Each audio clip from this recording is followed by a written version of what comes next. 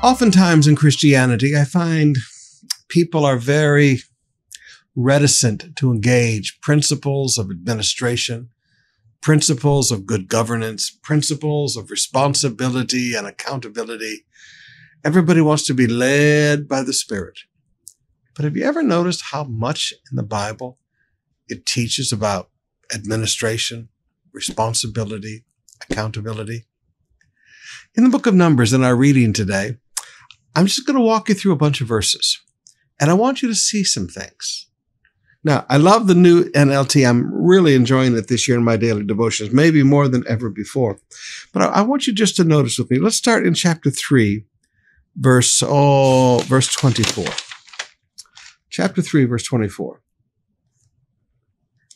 The leader of the Gershonite clans was Eliasaph, son of Lael.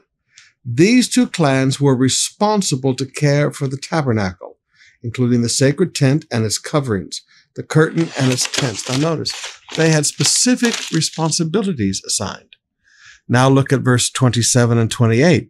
The descendants of Kohath were composed of the clans descended from Amram, Izhar, Hebron, and Uzziel.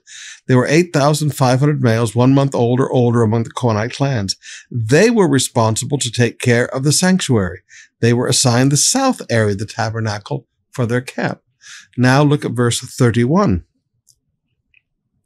These four clans were responsible for the care of the ark, the table, the lampstand, the altars, and the various articles used in the sanctuary, the inner curtain, and all the equipment related to their use.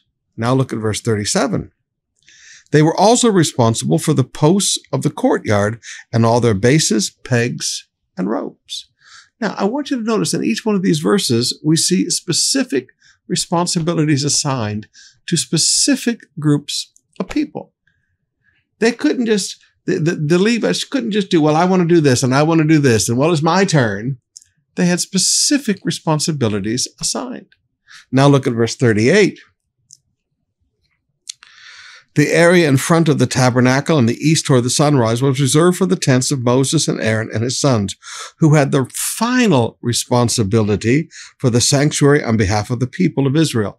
Final responsibility.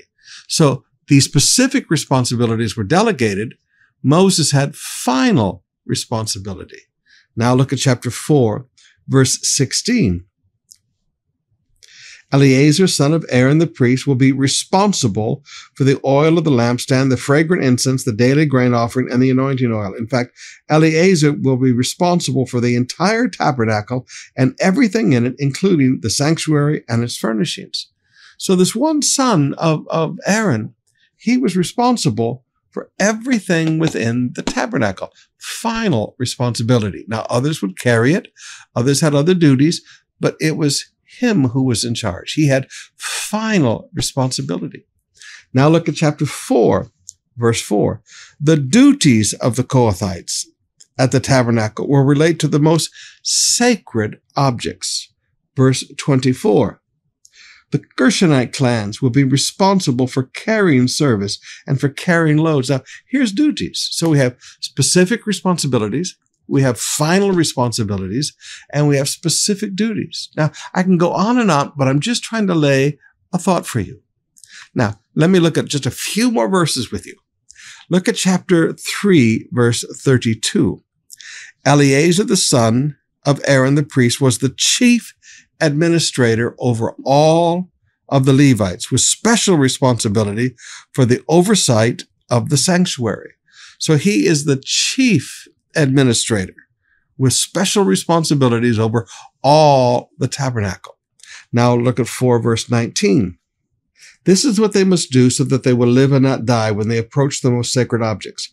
Aaron and his sons must always go with them and assign a specific duty or load for each person to carry to each person. All right. So these people are under the administration of Eleazar and Aaron, but Eleazar and Aaron must assign them specific duties or specific things that they are to carry. When they packed up the tabernacle and moved it to the next camp, specific assignments for what to carry. These were given out by the administrators. Chapter 4, verse 27. Aaron and his sons will direct the Gershonites regarding all their duties. whether it involves moving the equipment or doing other work. They must assign the Gershonite responsibilities for the loads they are to carry. Okay, now again, notice specific responsibilities and assignments given by the administrators. Now look at verse 28. They will be directly responsible to Ithamar, the son of Aaron, the priest. All right, so directly responsible too. So they hold people accountable. Chapter 4, verse 33. So these are the duties of the Merarite clans at the tabernacle, and they are directly responsible to Ithamar, son of Aaron the priest. Now, all I've shown you today is just reading through things that, forgive me, sometimes we blow through really quickly because, oh, that really doesn't relate to me. And I've showed you specific responsibilities, final responsibilities, specific duties, administrators over, administrators directing the assignments, administrators holding people accountable. God has always been a God of structure and organization. Now, beloved, we, we live in a world that doesn't, people, I don't want anybody to tell me what to do. I'm serving God. But you know what? It has always been this way that God has order within the work of God.